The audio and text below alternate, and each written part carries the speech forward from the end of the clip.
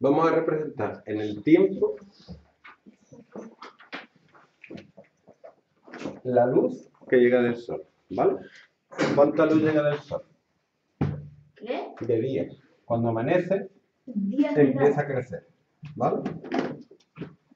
Hasta que llega el mediodía, es cuando más luz llega, luego atardece, se hace de noche, no llega luz. Llega luz por el otro lado, pero nosotros no la vemos. Luego amanece otra vez.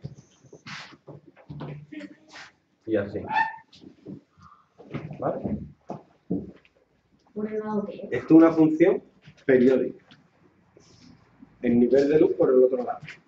¿Y? Eso voy. Esta es una función periódica, ¿vale? Porque se repite. Va creciendo, baja y luego se empieza a repetir, se empieza a repetir, se repitiendo hasta el infinito. Si hay un eclipse, ¿qué es lo que pasa?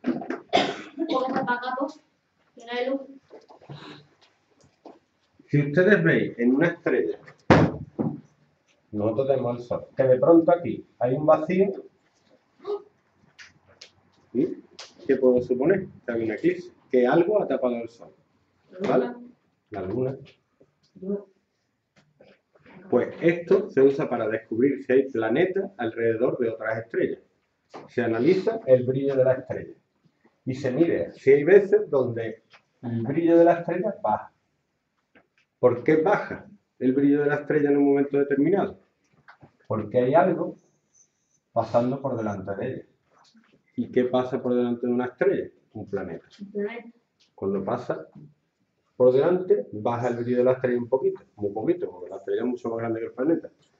Pero esta pequeña bajada te permiten detectar si un planeta tiene algo alrededor, aunque esté en el quinto pino. Entonces, es una manera de detectar planetas alrededor de otras estrellas. Yo lo hago. Hay una página en internet que te dan esta curva y tú tienes que mirar si hay cosas como esta. Si las hay, tú las señalas y ellos analizan si realmente eh, es posible que ese planeta tenga una estrella. Digo, esa estrella tenga un planeta. Se llama Zoo Universe. Zoo Universe.